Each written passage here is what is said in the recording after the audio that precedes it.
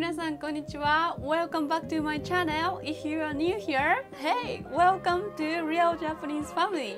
I am Miku and I'm a Japanese teacher who teaches you the real, authentic and practical Japanese that we actually use here in Japan. By the way, minasan, if you like my content and if you haven't subscribed to this channel yet, please do because you can make sure you can watch all the videos that I'm gonna be uploading in the future and that's the best way to help me grow this channel and I would appreciate you so so much if you could subscribe to this channel and be the part of my family.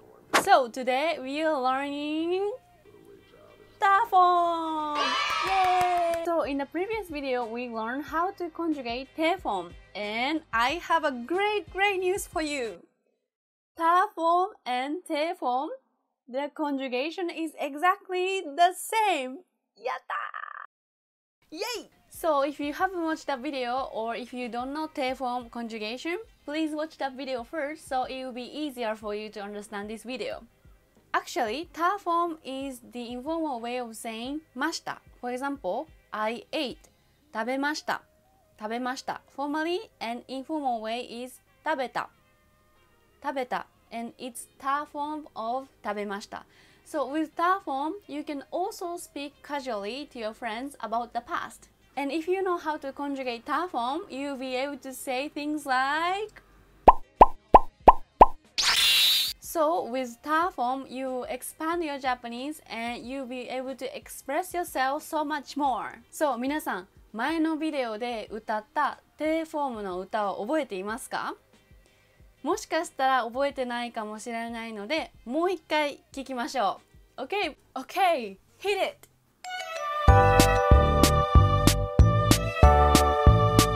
うつるってムブヌンで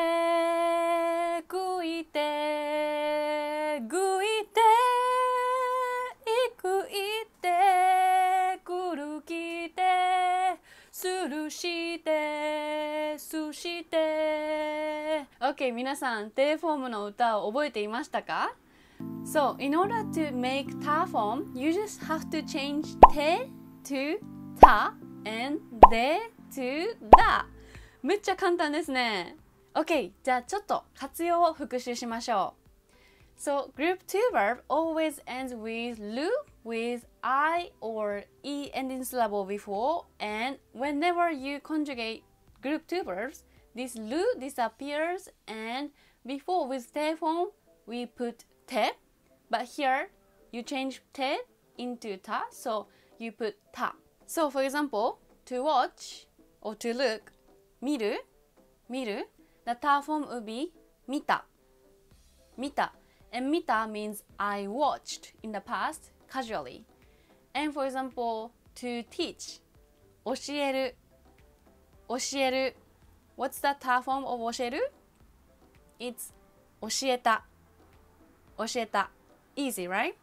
Okay, let's move into group 3 and there are only two verbs in group 3 する to do and 来る to come so whenever you conjugate する to ta form this する change into し and you add ta so you'll be したした and 来る changes into き and you add ta so 来た来た for example to study 勉強する勉強する so how do you say I studied informally it's 勉強した 勉強した or for example to bring which is 持ってくる持ってくる so this 持って doesn't change but you need to conjugate this 来る how do you conjugate this 来る into ta form it's 持ってきた持ってきた which means I brought I brought something 例えば I brought beer ビール持ってきたよビール持ってきたよ Okay, let's move into group 1 So the verb that ends with う、つ、る they change into たた For example, to meet up with someone or to see someone which is 会う会う What's the ta form of 会う It's あった 会った So for example, if you wanna say I met Miku, you can say ミクに会ったミクに会った informally. For example, how do you say to stand up? To stand up. You know how to say to stand up? It's 立つ立つ So what's the ta form of 立つ It's 立った立った Or how do you say to sit down? You know how to say to sit down? It's 座 suwaru. So what's the ta form?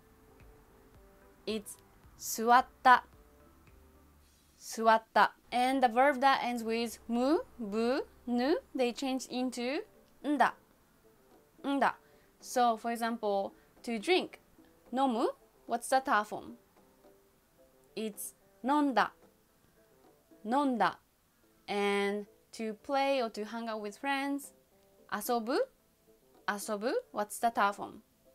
It's 遊んだ遊んだ And the only verb that ends with ぬぬ is to die 死ぬ死ぬ What's the ta form of 死ぬ It's 死んだ死んだ But this 死んだ when someone passed away we cannot really use this shinda because it's kind of it's kind of disrespectful or it's kind of rude to someone. So passed away is nakunaru. Nakunaru. So if someone passed away, you can say someone ga nakunatta. Someone ga nakunatta. It's better not to say someone ga shinda. For example, you can use this shinda when your phone died. For example, you can say ah keitai shinda. Keitai shinda. That's okay. And the verb that ends with ku they change into ita. Ita, for example, to write, kaku. Kaku would be kaita. Kaita. And the verb that ends with gu, gu, they change into ida. Ida. For example, to take off clothes, we say nugu. Nugu. So what's the ta form of nugu? It's nuida, nuida. And last one is the verb that ends with su. Su, they change into shita, shita. For example, to lend something, to lend something to your friend, for example, to lend book to someone, the verb is kasu, kasu. So what's the ta form of kasu? It's kashita した貸した so for example if I lend book to Tom I would say トムに本を貸したトムに本を貸した and only one exception is the verb to go which is 行く行く it's 行った行った so please be careful just one exception okay it's piece of cake right it's めっちゃ簡単 so let's test if you understood Remember, the conjugation is exactly same as te form. So if you could do te form, you can do ta form. Okay, let's go test it. Okay, challenge time. So this is how it works. I will say dictionary form and give you 3 seconds and I want you to say ta form. And if you think 3 seconds is not enough, you can pause this video and think well and start the video again. Okay, there will be 10 verbs. Number 1. 乗る乗る to ride or to get on train, get on bus, etc. It's 乗った乗った So if you wanna say I got on train, you can say 電車に乗った電車に乗った Number two 急ぐ急ぐ to rush It's 急いだ急いだ Okay, number three 歩く歩く to walk 歩いた歩いた So you can say I walked a lot today 今日めっちゃ歩いた今日めっちゃ歩いた informally Okay, number four 学ぶ学ぶ which means to learn It's 学んだ学んだ I learned something really important today 今日大切なことを学んだ今日大切なことを学んだ OK Number 5行く行く It's 行った 行った Did you remember that was the exception? Did you fall in my trap?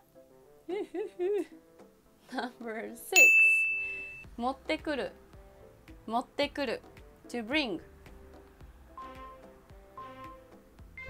It's 持ってきた持ってきた which means I brought Number 7住む住む to live in somewhere It's 住んだ住んだ Okay, number 8あるある to exist or to have It's あったあった Okay, number 9忘れる忘れる to forget It's 忘れた忘れた You can use it when you forgot something あ忘れた忘れた And you, can also use this when you left something somewhere For example, I left my purse カバン忘れたカバン忘れた Last one 聞く聞く to listen It's 聞いた聞いた Actually, kiku also means to ask someone, but in that case, you have to say someone ni kiku, person ni kiku. For example, I asked Miku. You can say Miku ni kita. Miku ni kita Okay, how did you do? So if you like this video, please hit the like button because it helps me so much to grow this channel. And if you haven't subscribed to this channel yet, please do because I'm gonna be uploading more and more videos like this.